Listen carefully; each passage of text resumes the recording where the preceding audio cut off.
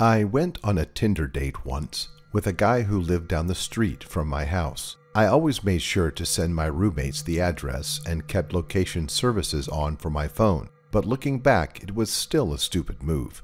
This guy kept going on and on about his dog and how much he wanted me to come over and meet him. After chatting for a few days, I decided to give it a shot. When I got to his place, I was blown away. It was this massive house with a boat parked right out in front of it. As soon as I arrived, he rushed out and asked me to park my car diagonally next to the boat, leaving barely any space. At the time, it didn't strike me as odd, but looking back, I think he was trying to prevent me from leaving quickly. I went inside, and the place was practically empty. There were only two futons in the whole house, but that wasn't the weirdest part. As we started talking, this guy began making all these assumptions about me, like he had already figured out my life story. He labeled me as someone with low self esteem and a traumatic childhood. It hit a nerve to say the least. And then I started wondering where is his dog?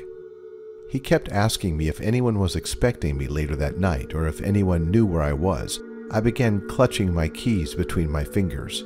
His questions started getting stranger and stranger. He wanted to know my blood type, where my family was from, and who I lived with.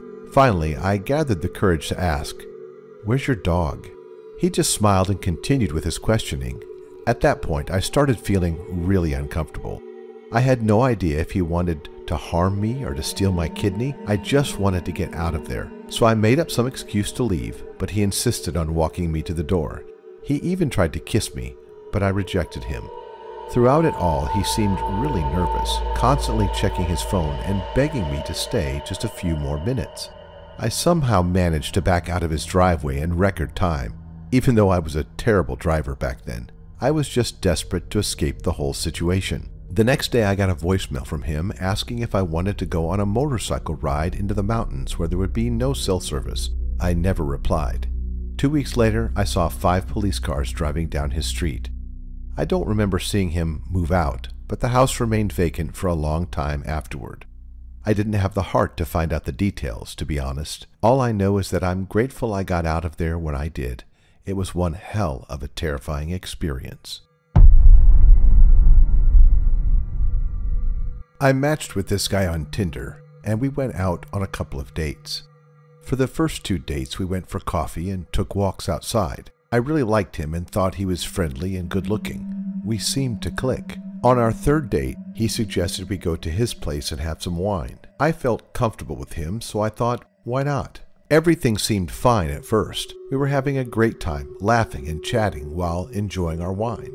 But then I started feeling strange, like something wasn't right. I had been drugged once before, so I recognized the effects immediately. I knew I had to be clever. I put on a cheerful front, pretending I was fine, and told him I needed to use the bathroom quickly, making it seem like nothing was wrong. Once I was in the bathroom, I locked the door and immediately called the police. I explained that I had been drugged and that they needed to come and rescue me in the locked bathroom. Shortly after making the call, I passed out. As I regained consciousness, I found myself surrounded by police officers. However, I was still heavily under the influence of the drug, so my awareness would come and go. I vaguely remember them placing a bag over my head as they carried me out of there. A few days later, I was asked to go to the police station to provide a statement about what had happened. During the process, I asked about my vague memory of the bag over my head. Shockingly, the officers confirmed that they did indeed cover my head with a bag. They explained they did it because they felt it would have been too traumatic for me to witness what my date had planned for me in his living room. Just the thought of it sends shivers down my spine. The guy ended up in jail, and to this day I still don't know what he had intended to do to me.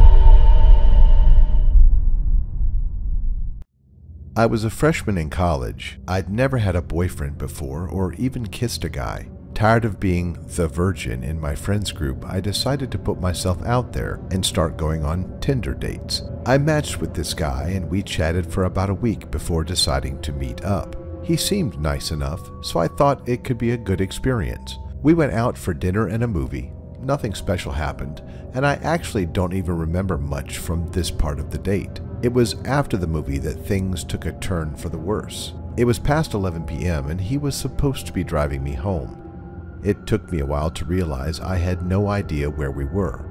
It was pitch black, and all I could see were endless farm fields on this bumpy gravel road. When I asked him where we were going, he casually said he was taking us on some back roads. I was really creeped out and just wanted to get home. I told him I was tired and asked how far we were from my place. He just said, not far, and then asked if I would mind him turning on his police scanner. At that point, I got the impression that he was just weird, but shrugged it off.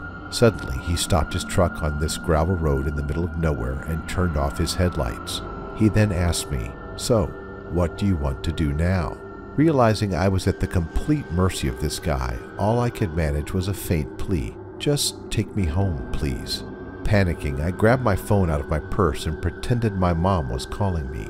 During the fake call, I made sure to mention that I was on a date and stressed the guy's name.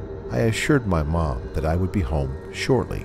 Thankfully, he drove me back home. Looking back, I'm not sure if I overreacted, but I have absolutely no regrets about escaping from that situation. I started talking to this guy on Tinder a few months ago. He seemed alright, but not really my type. Anyway, we talked for a couple of days. I didn't realize how naive I was until now, but I mentioned where I worked. That same night, I was at work when I saw a guy walk past that looked a lot like him. I hadn't met him in person, so I wasn't sure if it was him or just a coincidence. I forgot about it, and a few days later I was at work and my phone battery was low.